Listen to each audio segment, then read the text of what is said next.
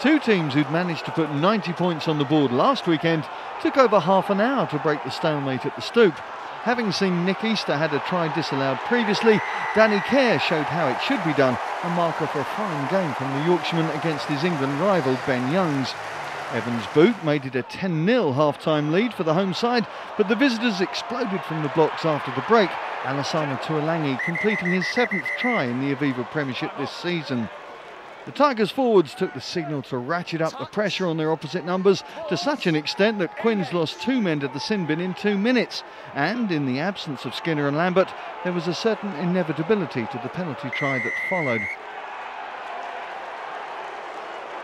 There was always a rumbling of discontent throughout the match, particularly amongst the packs, brief flare-ups becoming an increasingly common occurrence until the volcano erupted in the final quarter. Marler and Ayerza going to work on each other, forcing Wayne Barnes to show red to each side.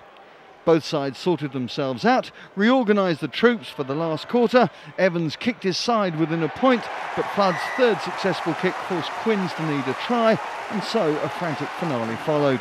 Urged on by the sellout crowd, the home side threw themselves at the Leicester line, but the Tigers' defence held firm, once again showing why they're the champions and why they are in pole position to take the title again. For Harlequins, it was a case of so near and yet so far.